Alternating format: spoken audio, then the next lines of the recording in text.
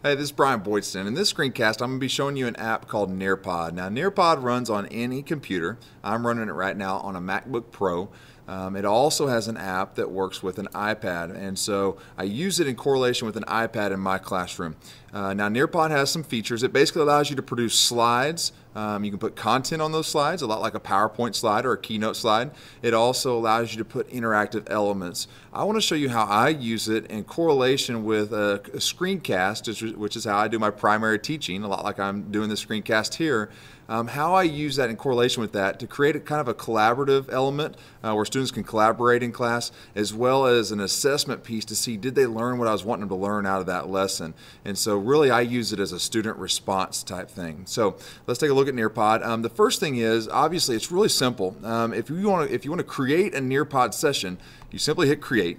Um, now, when you go to the create, um, you just hit add, and then you have a choice here. You can either start from scratch, like you see here in the bottom left, or you can open up a file you already have. Now, the types of files you might want to open up is if you already have a keynote, you could take that keynote, save it as a PDF, so each slide is a PDF file, upload it in here. It will make each one of those uh, PDF pages or slides of your keynote into an actual uh, Nearpod session slide. And so you can send those to the students. And so it operates a lot like that. You can also upload your PowerPoints in there as well. I usually like to start from scratch since I'm just using this as a response app. So I want to create some questions, five, six questions that I'll send to the students and I can get responses back from or uh, back from them. And so um, the first thing here is you'll notice um, it gives you a beginning slide and an ending slide. To add content, you just hit the add button. Now, as far as the content, you can add videos onto a slide that you could just push a video out to all the students' iPads. Um, you can add content like you see here in the middle as far as web content. We could put in a web address and that would allow for us to push a, a website to their, to their iPads and so now they can navigate within that website, keeps them focused. Um, what I'm going to use here is this add an activity. And again, I'm just using this as a response app. And so I can add open-ended questions, polls, quizzes. A quiz would be like a multiple choice question. Um, I can even add a picture on that multiple choice question. The students can select. I'll show you some examples here in a minute. Um, and then the draw it. I love the draw it. I can add an image, ask them a question, and then they can annotate over that image. And then again, that's going to submit it, their answers right back to my screen. So a really cool feature to be able to see do the kids grasp what we're wanting them to grasp. And so let's take a look at a few. The first thing we're going to click here is engage, and I have an iPad up and running right now with the with the app, and so um, we can kind of toggle back and forth and, and see that as we go. All right, there we go. Took just a second. All right, now once it comes up, uh, any that you've published, you notice I don't have a whole lot here. I'm operating on the free version in Nearpod. If you have the paid version, you have unlimited space. Uh, I don't have that. And so I'm going to click live session here for this one on mutations.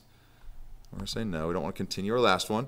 And it's going to give me a code here, and I want to show you real quick what it looks like on the iPad.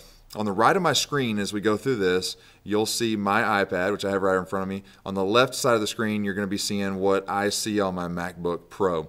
And so you can see that on the right there. We have a little place where we can enter a pin. So I'm going to go ahead and join this session. Our code there is over there on the left. It's XB. HDR. All right. So we're going to join that sec this section, this Nearpod session, and if we click on here, I want to, I want to show you. Let me get rid of this. All right, if you'll notice, what I see on the left on my MacBook Pro is identical to what the students see. So I control the content that's being pushed to their to their iPad at any given time, which makes it nice because it keeps me keeps them focused uh, with what I want them to see. And so a couple examples. So the first thing um, is always going to ask for the student's name, which is good, so I know who's, who the responses are coming from. So let me go ahead and type in my name there. All right. We'll hit submit.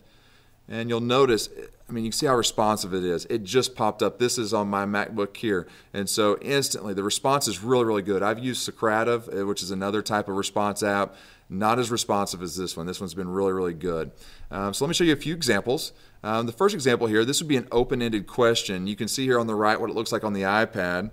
Um, I'll just type in my answer. I'm just going to put demo since this is our little uh, demo here. And I'm going to hit submit. It says thank you to me. Let's click back over here so we can see, and you can see the answer popped up. Now, if I had 30 students on there, which sometimes I do, sometimes I just have 15 because I usually have the students in groups of two collaborating to come up with these answers. And so uh, you can see the answers as they pop up. One real cool feature I want to show you here is on the right, you have share.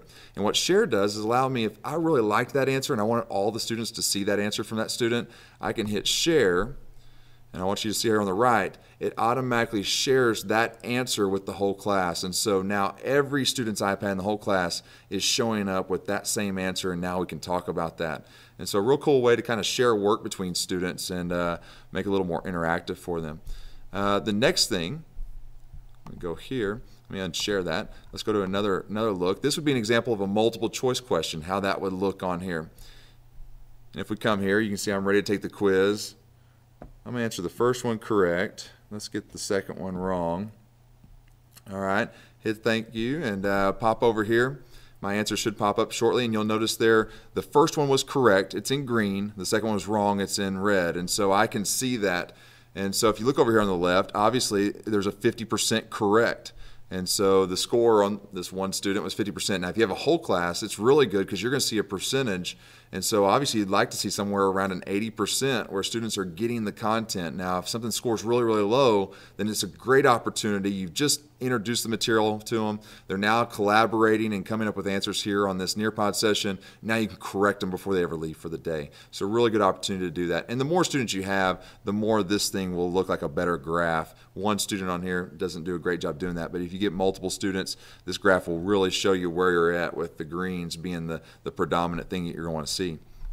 The next slide, let me pull, I'm to go ahead and skip to one that allows you to draw, and I want you to see what it looks like here on my iPad.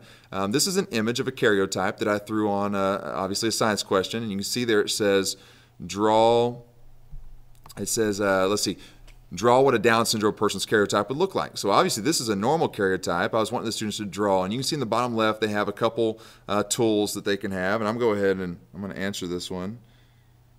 I'll go ahead and circle where my answer was so you can see it. Um, a person with Down syndrome has an extra chromosome 21, and so it allows the students to annotate and write on that, hit send, and then let me show you what that what that's going to look like on on my screen. And if you come here, you'll see on, on my screen, it shows up. That was submitted to me. You can see how fast even the images submit. If I had 30 some students, then you'd see all kinds of answers all along this. You can even click on them to see that answer up close. And then again, if you want to share it, you can share it out to every student. That way you can have a class discussion about what maybe what one of the students came up with an answer. So again, just a really good way to get students to collaborate. I use it as a way for them to collaborate and a way for them to share responses back to me. And I don't let them use notes to do it. I want to see did they learn from that screencast, that material that was presented to them, did they learn the key concepts I wanted them to learn? Because the next few days after this, we're going to be doing labs, activities, all to reinforce the things we learn in this screencast and this Nearpod session.